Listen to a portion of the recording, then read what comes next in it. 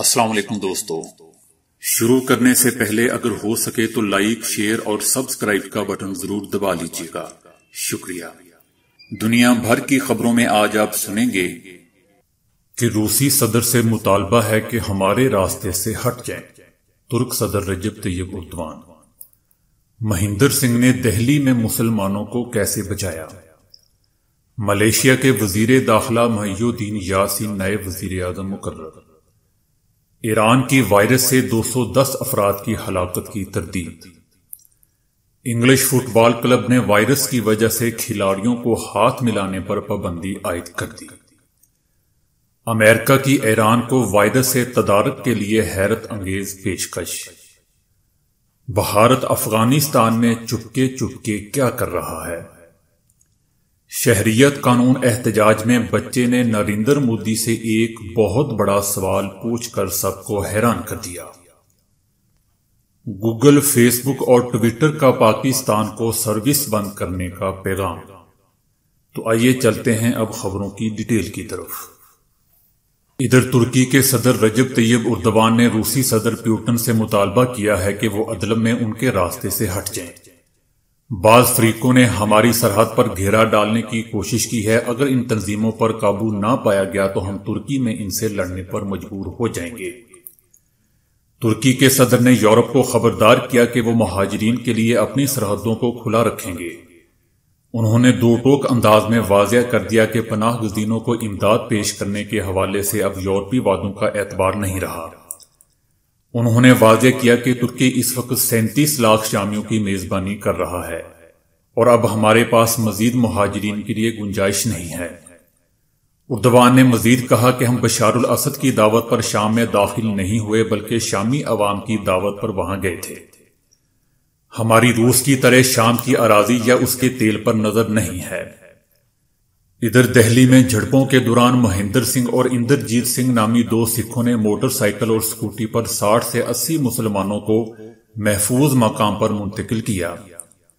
اپنے مسلمان پڑوسیوں کی جان بچانے والے باپ اور بیٹے کا کہنا ہے کہ انہوں نے صورتحال دیکھ کر اندازہ کر دیا تھا کہ دہلی کے ہندو اکثریتی علاقے میں معاملہ ہاتھ سے نکل رہا ہے۔ اس کے بعد انہوں نے اپنے مسلم پڑوسیوں کو موٹر سائیکل پر قریبی آبادی کاردام پوری منتقل کیا۔ انہوں نے ایک گھنٹے میں تقریباً بیس چکر لگائے مردوں، خواتین اور بچوں کو حدود سے باہر لے جانے سے قبل انہیں سکھوں کی مخصوص پگڑیاں پہنا کر ان کی شناخت چھپائی۔ مہندر سنگھ نے کہا کہ میں نے ہندو یا مسلمان نہیں بلکہ چھوٹے بچوں کو دیکھا اور انہیں اپنے بچوں کی جگہ محسوس کیا۔ جھڑپوں کے دوران مہندر سنگھ نے ناقابل یقین واقعات بھی دیکھے، اس دوران چالیس افراد شہید ہوئے۔ مسلمانوں کی دکانیں، گھر اور ایک مسجد کو بھی لوٹنے کے بعد جلا دیا گیا۔ اپنی املاک چھوڑ کر مجبور مسلمان گھرانے ابھی تک واپس نہیں آ سکے ہیں۔ مہندر سنگھ کے لیے یہ پہلی بار نہیں، انہوں نے اس سے پہلے بھی اسی کی دہائی میں دہلی ہی میں اپنے سکھوں کے ساتھ یہ سب کچھ ہوتے دیکھا ہے۔ حالات زیادہ خراب ہوئے تو یہاں مقیم مسلمان جامعہ عربیہ مدینہ العلوم مسجد میں پناہ لینے لگے۔ اسی شام یہ مسجد لوٹنے کے بعد نظر آتش کر دی گئی۔ مسلمانوں نے فوری طور پر یہ علاقہ چھوڑنے کا فیصلہ کیا۔ مہندر سنگھ کے مطابق پہلے انہوں نے پریشان حال افراد کو روکنے کی کوشش کی، لیکن نہ ماننے پر پھر انہوں نے مسلمانوں کی مدد کا فیصلہ کیا۔ مہندر سنگھ نے بتایا کہ حالات اتنی تیزی سے خراب ہوئے کہ وہ اپنی کار کی بجائے وہیں موجود موٹر سائیکل اور سکوٹی کے استعمال کرنے پر مجبور ہو گئے۔ جے شری رام اور نریندر مودی کے حق میں نعرے لگانے والے ہندو ہجوم کو دیکھ کر انہیں مسلمانوں کی مدد کا فیصلہ کرنا پڑا۔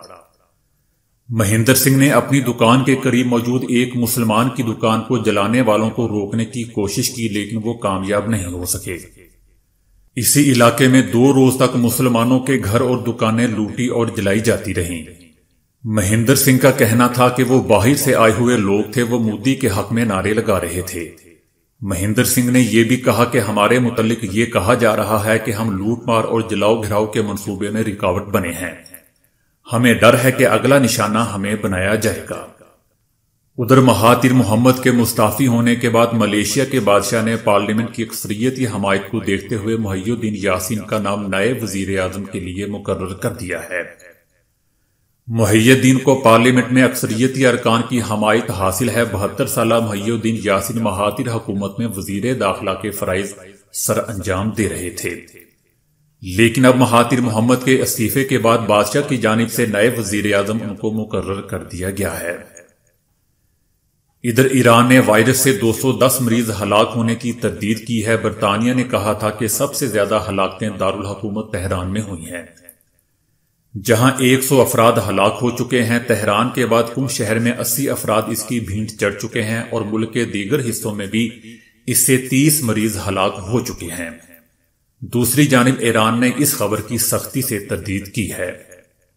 دوستو، ادھر تیزی سے پھیلنے والے وائرس کی وجہ سے انگلش کے football club Newcastle United نے کلب میں کھلاڑیوں اور سٹاف کو آپس میں ہاتھ ملانے پر پابندی عائد کر دی ہے۔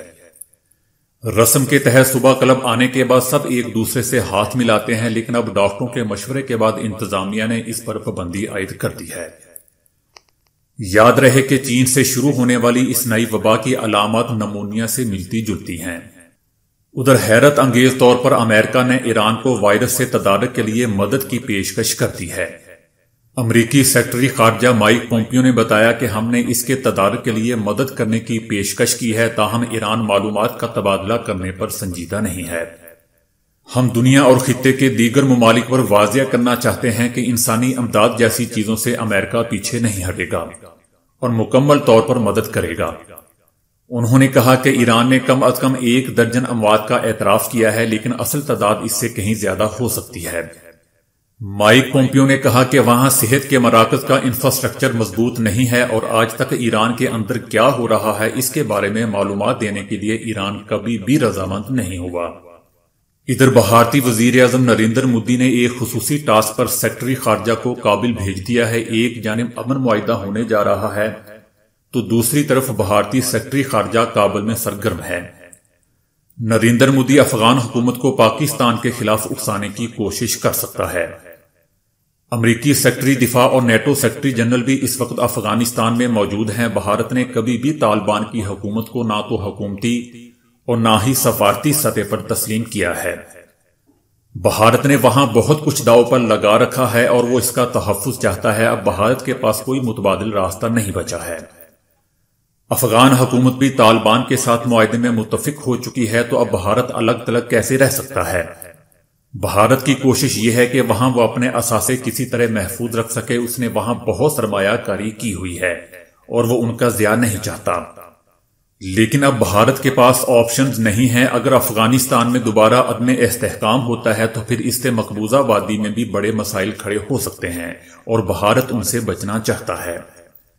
ادھر بھارت ہی میں احتجاجی ریلی کی ایک ویڈیو سوشل میڈیا پر مشہور ہو رہی ہے، جس میں ایک دس سالہ بچہ ریلی سے خطاب کرتے ہوئے نریندر مودی سے سوال کرتا ہے کہ اگر یہاں تاج محل اور لال قلعہ وغیرہ نہ ہوتے تو دنیا کو کیا گائے اور گوبر دکھاتے تم لوگ؟ بچے کے کہنے کا مطلب یہ تھا کہ مسلمانوں کی ہسٹری کے سوا تمہارے پاس کیا ہے دکھانے کے لیے یہاں؟ ادھر پاکستان حکومت کی جانب سے سوشل میڈیا قوانین متعارف کرانے کے فیصلے کے بعد فیس بک، گوگل اور ٹویٹر نے پاکستان سے اپنی سروسز بند کرنے کا حکومت کو پیغام دے دیا ہے۔ پاکستان میں یہ سروس بند ہونے سے ستر ملین صارفین متاثر ہو سکتے ہیں۔